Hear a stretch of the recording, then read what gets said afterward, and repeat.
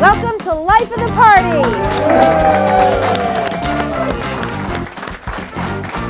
Thank you everyone for coming tonight on this slightly slushy evening. It's great to have you here. And it's also great to have my guest here tonight. He is famous in town and around the country and perhaps around the world for his wonderful chocolates, cakes, and fudges.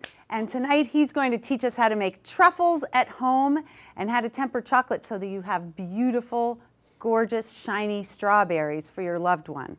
We're prepping you a little bit for Valentine's Day today. We're giving you time to learn some things and treat your sweeties. So Ron, why don't you come on up here and we'll get started.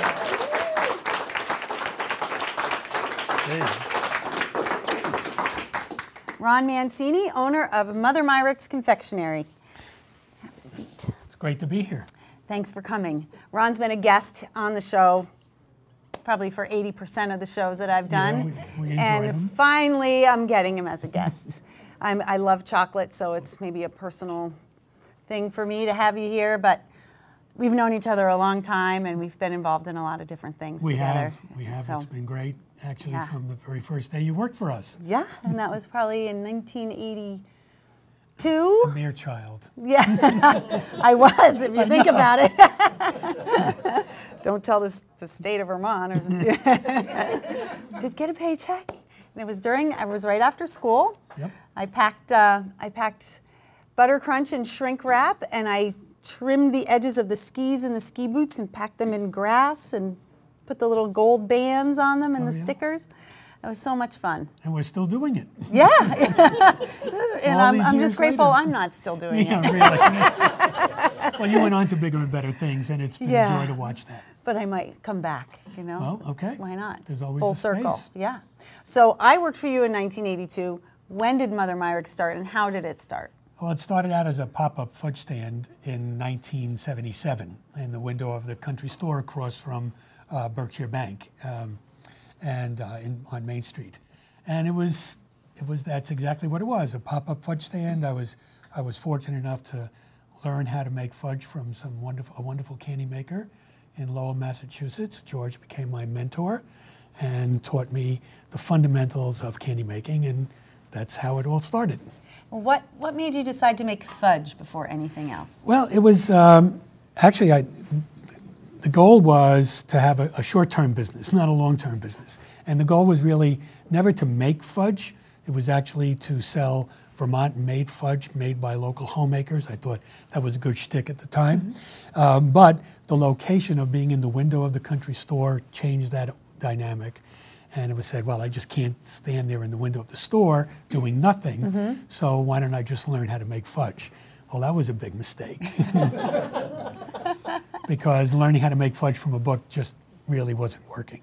Especially being able to go from a home recipe Right. and without any candy making experience at all, and then trying to do something on a commercial basis. But um, a random visit um, to Boston looking for candy suppliers uh, put me in touch. I met George, and uh, George had a, a restaurant and a, and a candy shop in downtown Lowell. And in the window of his store was this big sign homemade fudge. And it was across from a phone booth that I was looking to make a call at. So I walked in and introduced myself and uh, told George that I was interested in finding out how to make fudge. And after a lengthy conversation, uh, he invited me into his kitchen and uh, he became my mentor. How neat. And And six re- weeks later, there I was I remember you in the window, in the window. and the kids would clamor around you and just watch what you were doing. It was a lot of fun. Free samples didn't hurt business at all. Mm, right, right, right. Kept us all going between the Pellegrini's penny candy Yep, and, and our your little fudge, fudge stand. and the soda machine where you pull the bottle out. That was the best place. All of that. Yeah. It was a lot of it was a lot of fun. A dollar and a dream for every kid. It was. It was and great. and you know, we also that's when I started to hand dip chocolate, simple things, Mm-hmm. you know, fruit clusters, dipped apricots, things of that nature. Uh, George taught me how to temper by hand on a marble slab, so I did that in the window as well. Uh, this was before I had any equipment at all, and uh, and it just kind of grew from there. And that's actually how uh, we ended up, Jackie and I, in the ice cream business because one of the customers uh, was a second homeowner from Ithaca, New York, whose family owned an ice cream company, Purity Ice Cream Company. The best ice That cream was ever. awesome. And um, they, um, they asked me about whether I would make some chocolates for them to sell in their store in Ithaca over the winter because the ice cream business was slower back Right. then. So I did that, and they'd come up on weekends and bring 10, 12 pounds of candies back with them. And over the course of the conversations that I had with them, uh, Anne had remembered the little Equinox uh, had an ice cream parlor in it for the I summers remember that too. and she fantasized about her ice cream being sold there um, someday. And the following year, my circumstances were such that I called them up and said, "If you'll lend me the money, we'll build an ice cream parlor and sell your ice cream." And that's exactly what they did, and uh, that was for 27 years. Wow, and it was such a quintessential ice cream parlor too. It I was loved great. with the the brass handles and the marble counters and the little scrolled chairs and that ice cream. I'm sure most of you sitting here remember the bittersweet ice cream, the Irish coffee ice cream. The, what was the name of that Sunday that you made with the malt and the fudge? Oh, the Dusty Road and the Oh, uh, yeah, Mud yeah. Season Special. Yeah, the, mud, season, special. Oh my God, it was so good.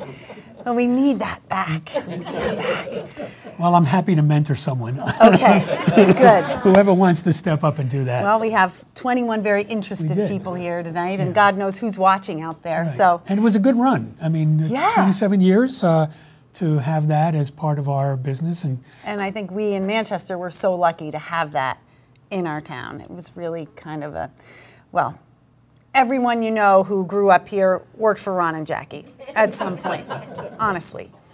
I wish I could ask all of you to raise your hands, but the demographic is not no.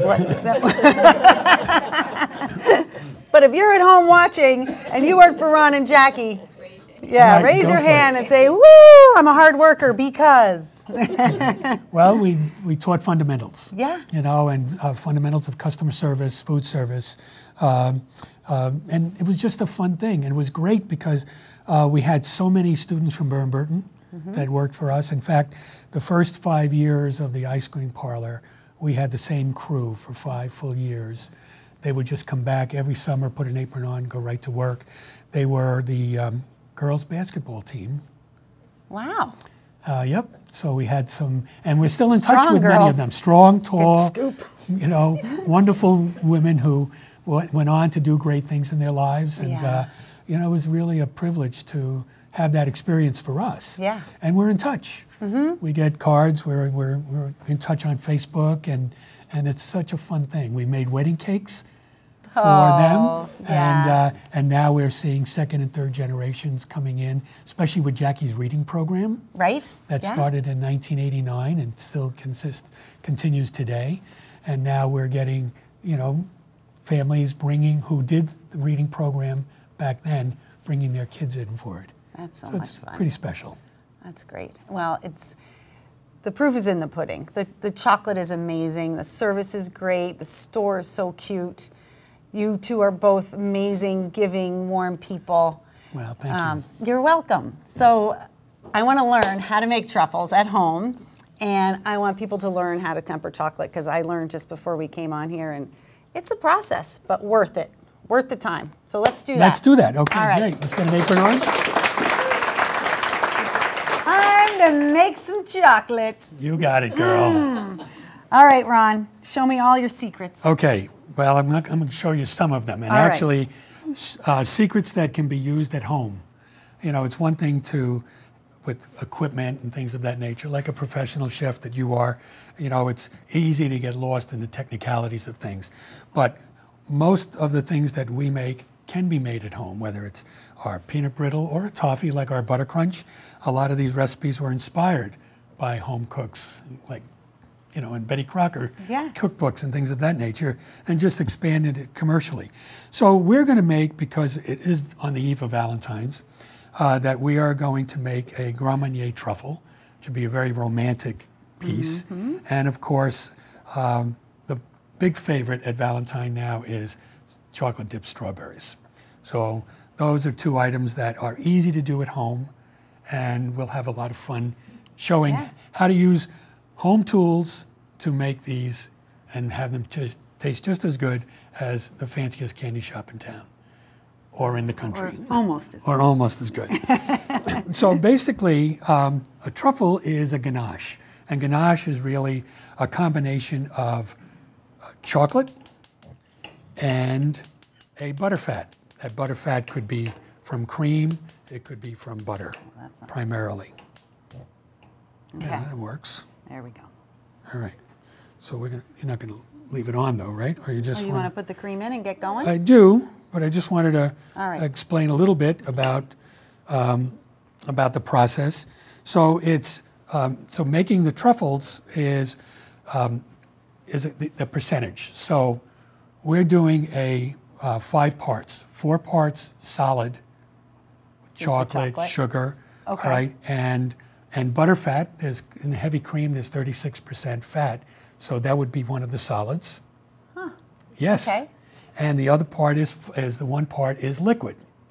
So we're going to make what I consider a um, handheld um, truffle, one that will not dissolve or or goop over, over your hand. So, but if somebody wanted to make a soft ganache, all right, they would just increase the ratio of liquid to solids. So, um, and when I talk about the solids and butterfat, so like butter is 92% solid and 8% water. Heavy cream is 36% butterfat and the rest is water or liquid. So when we're doing our formulations, we're going to take that 36% into account as part of the solid. Okay, All right? you got that? So that's so that would be the basis for it, you know. Okay. And because out here on the finished product, we have these what I call handheld truffles. They're not going to collapse on you.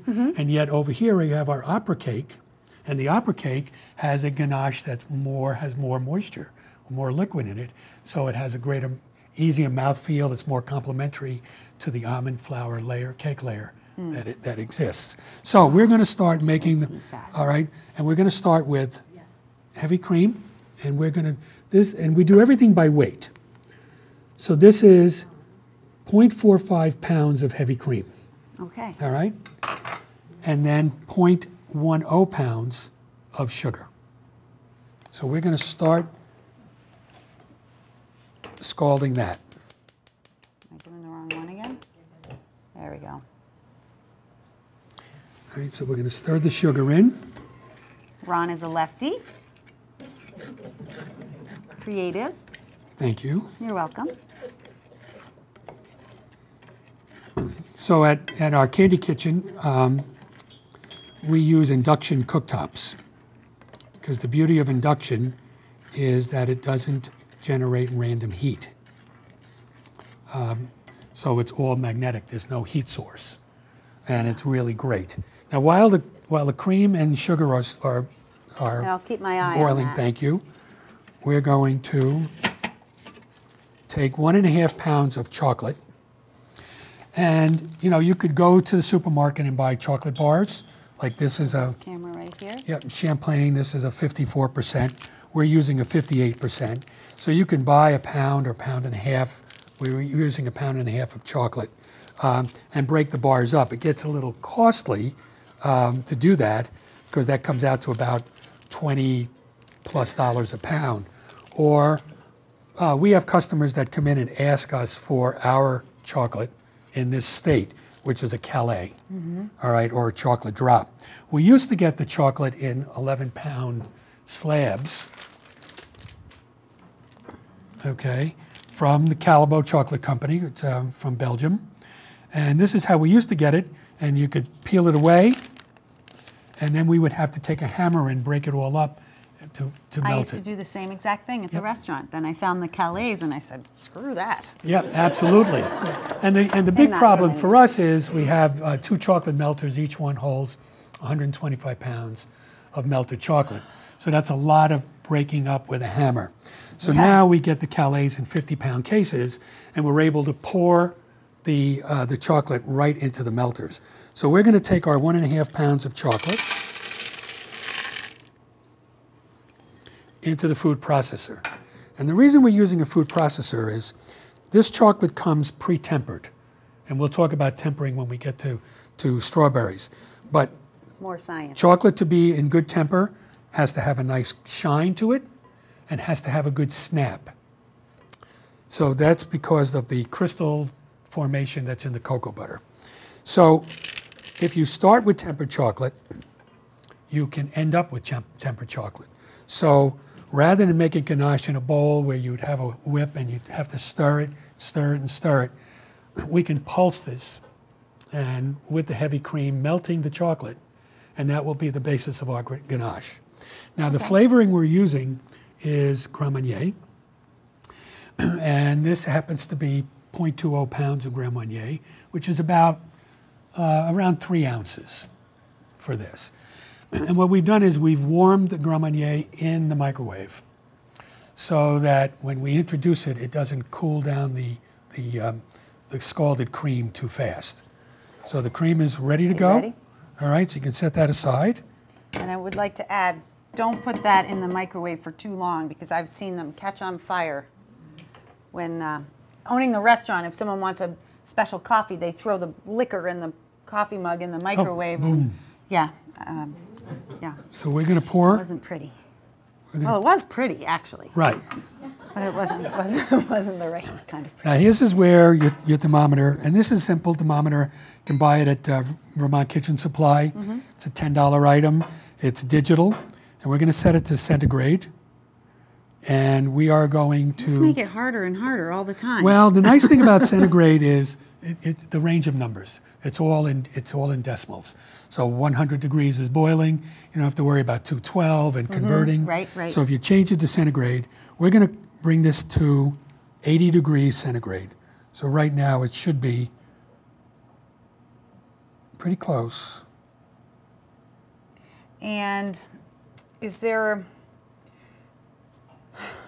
I, guess when I when I make ganache, and I don't, I've never learned the right way. I feel like if I put my finger in it and it's like my body temperature, it doesn't feel too hot or too cold. Mm-hmm. Then I feel like we're we're you know getting to the right temperature. But this is hotter than that. Yes, right. And you can kill the heat on that. So we're going to pour about three quarters of the cream into this food processor. And the reason why you wait till 80 degrees is you do not want the chocolate to melt and go out of temper very fast, which can happen with the heat. All right. So this is this is the house food processor. So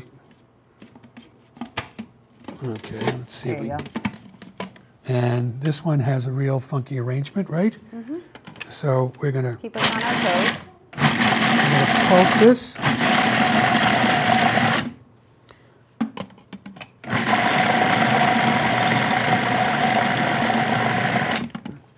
And then we're going to, whoops, we're going to pour the remaining cream in place and the butter.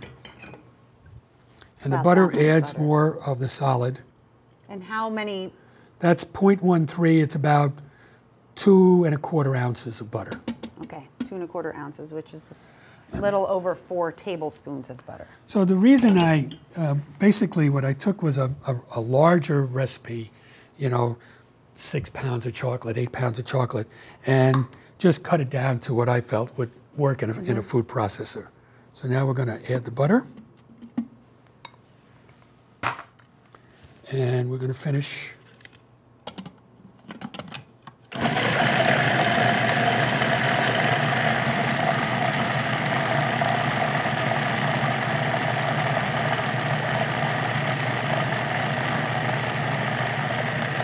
So that's very fast. Yep.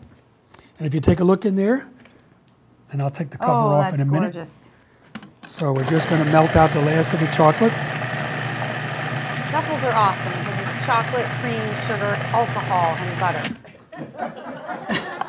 I don't know why you would need to eat anything else, honestly. And if we end the show with me having chocolate all over my face, I'm sorry in advance. I should have worn brown lipstick so that you would never know. So this is what the ganache looks like. Great. Now show Mark. Yep. And it's it's shiny and luxurious. Yes, Very yes. luxurious. So while that's cooling down a little bit more, what we're going to do is we're going to make these truffles two ways. We're going to deposit them into 6X or confectionery sugar, powdered sugar, and we're also going to roll them in cocoa. So the first thing we're going to do, this is a little less than, uh, at the supermarket you have, you get them in two pound bags. So this is just about two pounds, all right? So we're just going to tamp it down.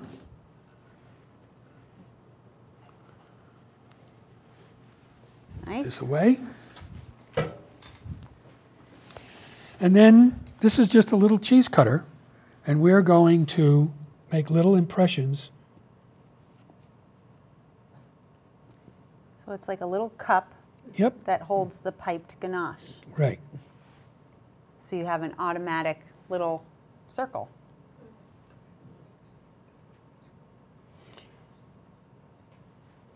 And you don't need a cheese knife, you just need something that resembles that Right. handle. Right? And it could be any size, it could, it could be a shape. You can make Oh, a ganache in a little star shape, That'll be fun. Because what'll happen is it'll hold the shape.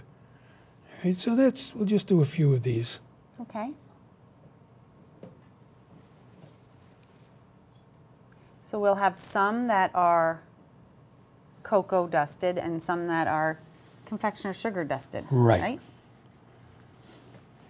So these, the ones we're making right now, have Grand Marnier in them, but there's a lot of different ways that you can flavor a truffle. Oh, absolutely. Um, uh, it doesn't have to have alcohol.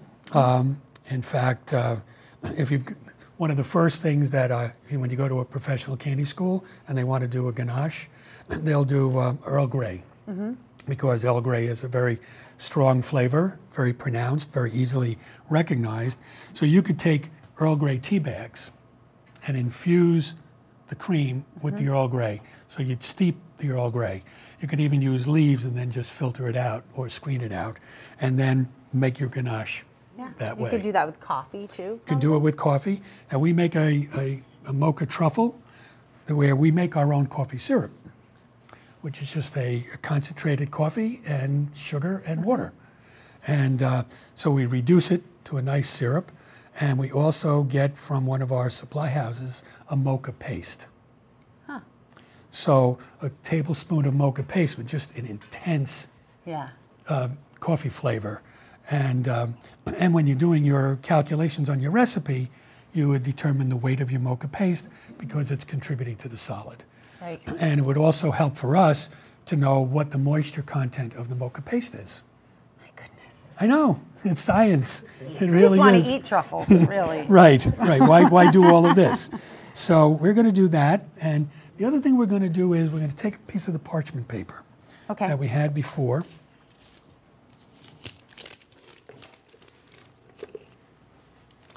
And we're just going to fold it in half and just put it on, ready to be put it on a surface.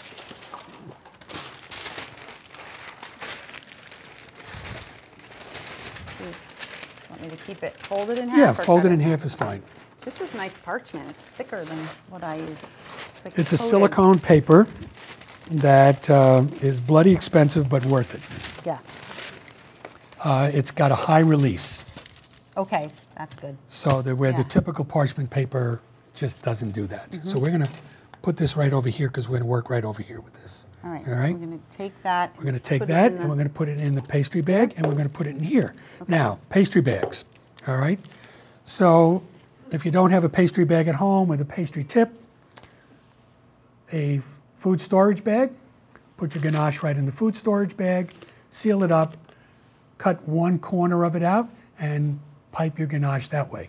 You'll have less control, but you don't have to go out and get the, you know, and incur the expense of getting pastry bag and pastry tips. Um, Because once you do that, you'll say, I might as well just go to Mother Myrick's and buy and truffles. buy the truffles, exactly, exactly. So, so we're going to take the, um, going to do this two ways. I'm going to, I'm going to leave it right on Yeah, there. we're going to leave it right, right, on there. So controlling, I'm sorry. I think I know yeah, it's, it's, it is an issue. girls, it's just girls. So we have, we're going to fill that up and we'll do some here and some there, right? Right, and then we're also going to make logs on the parchment paper. Oh, right. So many different ways. And we're gonna pipe a little bit. You wanna save some to put into here? And we'll For our pipe little- those cups. Yeah, So these are just nice little foil decorator cups that we use. We Actually, we, we dip our uh, Grand Marnier cherries. Um, we soak uh, cherries in Grand Marnier for a week, Mm. then we dip them in dark chocolate, and we put, put them in these cups, and that's awesome. So what we're going to do with these cups is we got a decorator tip here, and we're going to pipe tip. here, and we also have some uh, candied orange peel that we're going to top each of these decorated pieces with. because Grand Marnier is an orange scented liqueur. And for Valentine, these are this is edible glitter that we get from a company called File and Holling in New York. And these happen this edible glitter is cut into heart shapes. So we can we can dust them that way too. So you're bound to get lucky with a, a heart-shaped glitter. So if you want to take some of that out of there now, Okay. there might be some solid pieces of chocolate still left in there. So that might Well, that'll make my job easy trying to squeeze it out of this thing. That's, that's, uh, that's like trying to get remoulade out of a squeeze bottle, isn't it, Shandy? Capers, chocolate chips, all the same. Oh my God, I'm getting it all over my fingers, darn. What a terrible thing. I'm sorry. So I'm going to go find the scissor. Whoops. I gotta relax there. All right, I'm gonna take this out of the way. Yeah, we don't need that for that anymore. Okay, so we have our three, and we gotta go back to our places. Places, everyone. Okay, you need to come back around. Okay. Okay, thank you. So you're going to pipe in here. Okay. And I'll pipe in the in the uh, 6X or the confectionery sugar. Okay. And um, when you're piping, and Ron, correct me if I'm wrong, always squeeze from the top. People have a uh, tendency to hold it like this and squeeze from here, but that interrupts the flow. So you want to put all the pressure here where my right hand is and just guide it with your left hand. And you want to stop piping before you lift up, right? Yep. Yep. Can even go a little higher if you want. Okay. Get more of a peak to it. Beautiful.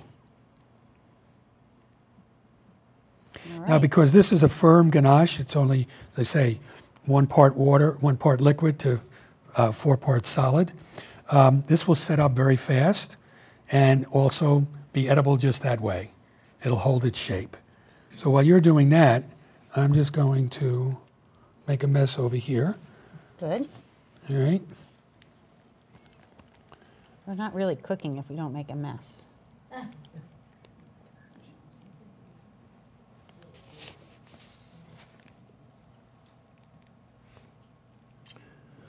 So we do this for size mostly,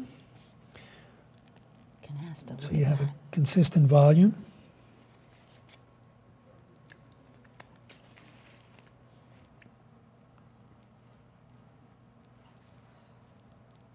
Should I tamper this stuff? Uh, no, you don't. Okay. Well, you can if you want to. Actually, we're going to roll Oh, truffles roll. in that. Okay. Oh, the log. Right? Yep. Okay. So maybe I'll put, while it's still soft, I should put this on, right? Yes. Okay. I'll do my little orange. And then I'll do the little hearts. I can't wait to see the hearts. Okay. I'll just do a few of these. So we're just going to let that set up, Okay. and I'm going to put more ganache in here. Yep. Do some of the hearts. That would be great. Oh. Aren't they cute? Yeah, I want to put them in my hair. Can I bring these on Jam Cruiser on? Oh, sure. Oh, those are so All sorts of possibilities with that. Like rose petals, but edible. That looks really pretty.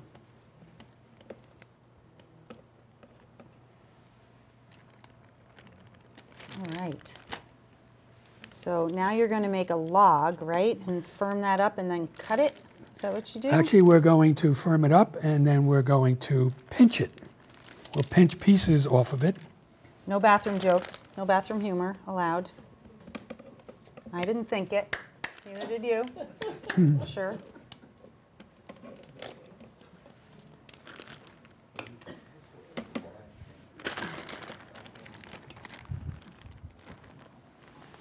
All right, so now we're going to seal that up. I'm going to clean this. I think I'm going to open a candy shop. That would be an awesome idea. You got one you want to sell? You know, we've been at this 41 years. 41 years. That's 20 years more than I've been at it. And you're still smiling. And you're still happily married. We are. Lucky. having fun. That is amazing. That's important, right? No matter what you do, Oh, yeah. make sure you still have fun. All right, well, I'm not going to say what that looks like, Ron. I know. That's all right. Well, that's because we're not using a pastry bag either. Okay. So it's just kind of, just a little weird. But we're going to let that set up. Love it. Duncan's definitely going to watch this show. So in the meantime, what we'll do is while that's setting up, we can dip a few strawberries. Okay. Okay? Now, tempering chocolate using a microwave. We're going to take a pound of chocolate, and a pound of chocolate melted We'll dip about two pounds of strawberries. Okay. Okay? So we start with the same chocolate we did for the ganache, all right? And we're going to put this bowl in the microwave. That bowl. That bowl is going to go in the microwave. microwave. So, metal in microwave, taboo, right? Absolutely right, except for stainless steel. Stainless steel does not interact with the, with the microwave action. As long as the bowl does not touch the sides and come in contact with the sides of the, of the microwave oven itself. There won't be any arcing, no sparking, or anything like that. So, what we'll do is we take the process is patience okay? Because what we're trying to do is melt the chocolate without burning it. And we also don't want to melt it so hot that we all of it is dissolved because we need some of this chocolate. I talked about crystal. Mm-hmm. This crystal, we don't want this to completely disappear. We actually want to melt some of this chocolate into, into the mass that's already warmed so that when we dip the chocolate, dip the strawberry in the chocolate, we get a nice shine. I don't know if we can see that on camera. But good shine to the product, all right? So we're just going to do a, Didn't get it. didn't get it? I didn't No. hear it. You, you go do that and I'll show Okay. him some shine. Some shine. It's a nice sheen to it. It actually is holding itself up. It's not like falling off the strawberry either. I think that's that's what's really nice about it too, is that it actually looks like it's encasing, hugging the strawberry like this and not just, you know. That was a good example too of the different kinds of truffles and let's get a good shot of my pretty little heart truffles. Mmm, those are pretty. They All right, are, those are beautiful. So we're going to take the chocolate, and this has been in the microwave for about 20 seconds on 40% power. And you can see, because stainless steel holds heat. So the bottom, it- first of all, the, it'll melt from the bottom or the inside out, uh, because that's how the heat of a microwave works. So we're going to do this maybe three or four times to get it to a liquid state. So to make truffles, you need to know science, you need to know math, you need to have patience. I'm going to Mother Myrick's. this is lots of fun, though. That's funny. Good stuff. And you know, along the way, I've been cooking for so many years at the restaurant. I've never learned how to temper chocolate. I've always known that you have to temper chocolate to get the sheen when you dip things or coat cakes and that kind of thing. But I've never known how, I've never known why, I never knew about beta crystals. Um, so today is a great day for me. Oh, And- great. And I can't wait to try that, you know, melting the chocolate Melting the chocolate in the microwave, yeah. And I've had people that work for me that are like, yeah, I've been told you can put stainless steel in the microwave. And I'm like, you're insane. I'm not letting you do it here. You can do it at home or somewhere else, but you can't do it. But there you go. There we go. And there's, I'm not right all the time. imagine that. so I've been, I suffer from the same disease, actually. so,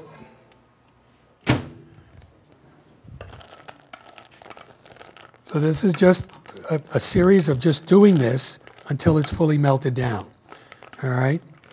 And it doesn't look like it, it, it's, it, much is happening, but in reality, the inside of the callets are starting to soften, but the outside is holding its shape. So you'll get to a point where all of a sudden, pow, it just all goes into a liquid state. So what we do is this. Um, once this is liquefied, and we still have some of the remaining callets available, we will continue with a spatula to melt the callets into the, in, into the mass. And then when that's done, we'll transfer this to a smaller bowl. So why do we want to transfer it to a smaller bowl? Because if we dip the strawberry in this bowl of chocolate liquefied, what'll end up happening is you'll only get maybe a half pound of chocolate of strawberries to dip because you'll be it's too much surface. Right, right. Okay. So what we do is we would just take it and put it into a smaller bowl, as we did here, and which is now setting up because it's all in good crystal temper. So it's really actually overseeded. So we could put this in the microwave Okay. and just simply melt this out and dip the pieces. So we're going to just cheat a little bit and go right to that stage. So bear with me. Just a few seconds. So this is great chocolate. What if, do you think that like Toll House morsels would work for this? Do you temper Toll House morsels? Because we're talking about the home cook here. And Right. as much as we all would love to have, you know, Callebaut chocolate in our cupboard like I do, um, we all have Toll House morsels in our cupboard probably because we make chocolate chip cookies. So is, does it work the same way? It's, it's probably got a lot more stuff in it, right, Ron? Well, actually, it has the fat ratio has changed, okay? Because the Toll House cookie wants to um, hold up under high heat.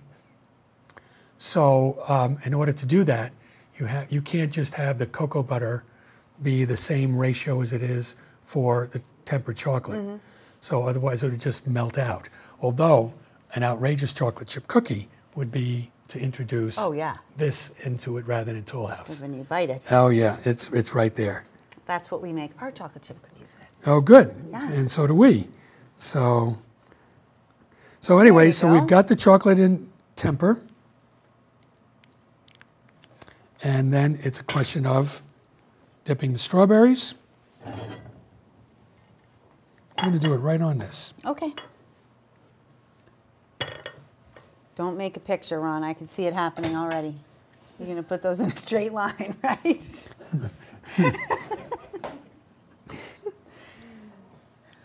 if this isn't my last show, it probably is now.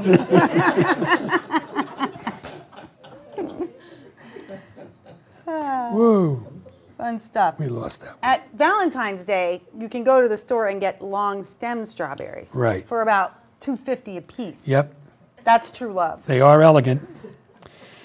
Uh, and these are Florida strawberries, so they've got they've come up with a lot of white around the crown. Um, California strawberries tend to be more red, but they also tend to be bigger. And actually, one would think that oh, big strawberries, nah. Yeah. The sugar content is Right. Right, You want you good. want a you want a strawberry that's small and has a high sugar content and is really adds a lot of sweetness and complements the chocolate. So, And of course, Vermont strawberries in June and July. Oh my God. Are the best. oh my God, they're just awesome. So, All right. so these will set up, and uh, in the meantime, the ganache is is forming, okay, and um, we'll take a fork and roll those in. Okay. Move this. Get rid of this. We can move that out. Okay. I'll take that away. Thank you, Ron.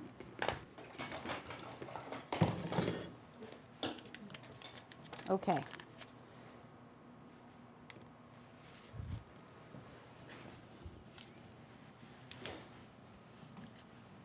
How'd I do? Doing great.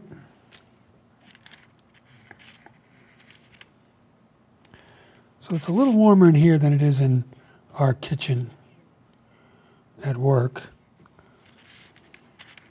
Well, if we did this show last week, It wouldn't have been a problem. right.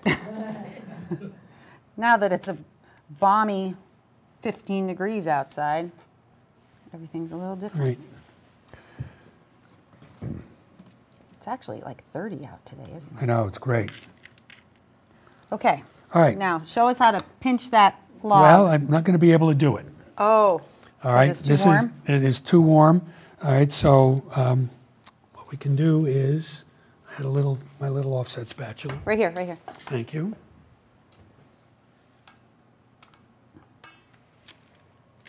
Yep, it's not ready yet.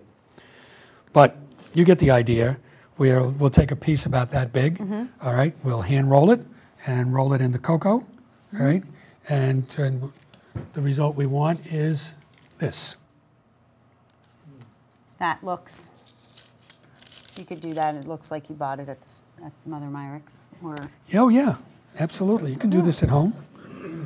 So um, we could, everybody could come along and pinch their own. pinch their own, and rather than roll it in cocoa or, or confectionery sugar, they can just Eat do it like yeah. right out of like the You right can out of the cookie batter bowl. Dip it in the tempered chocolate, right? Oh, absolutely. Yeah. And in fact, a real cool thing to do with the tempered chocolate is, uh, you know, we use uh, like we'll take a material like um, uh, drain covers, the little plastic drain covers Yeah. to keep the pine needles and leaves out of your out of your drain. All right, we'll cut those. They come in like six-inch strips. You get them at the hardware store, and they come in a roll, so you can roll them out and protect your your gutters. Oh. All right. So we'll cut those into like pieces of maybe six, eight inches, mm-hmm. and you can temper it and then roll the truffle and get a mm-hmm. real rough look to it. Oh, neat. Yeah. So it looks like a, like a like it's out of the woods. Yeah, Yeah. yeah, very, very rough, very mm-hmm. organic looking, and that's pretty cool. Nice. So there's lots of things. You're just limited by your imagination and uh, as to how you want to decorate. Yeah.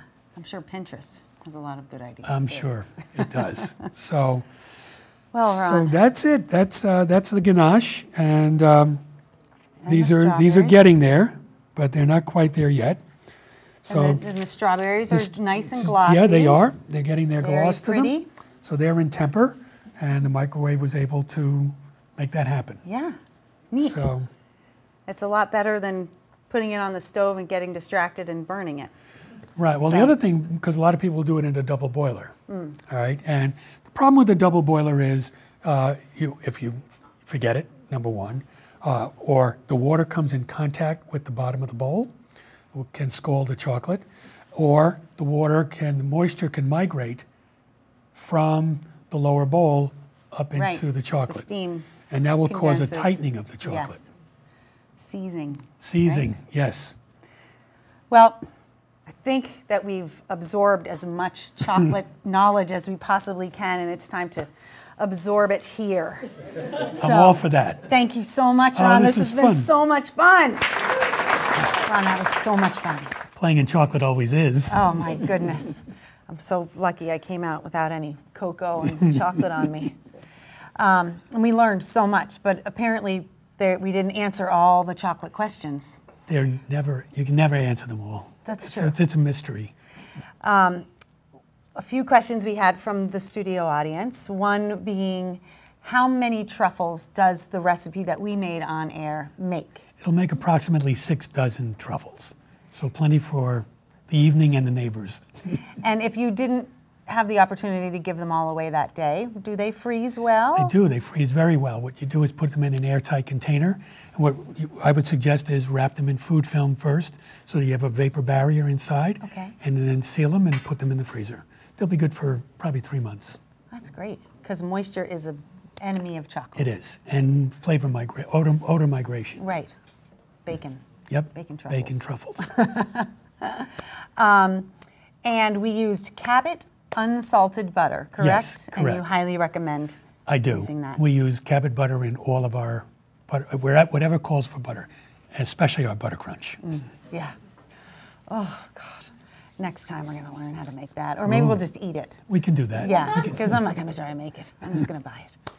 Um, can you over mix ganache? You can. You can. And um, when you overmix it, what happens is it looks like it turns very grainy.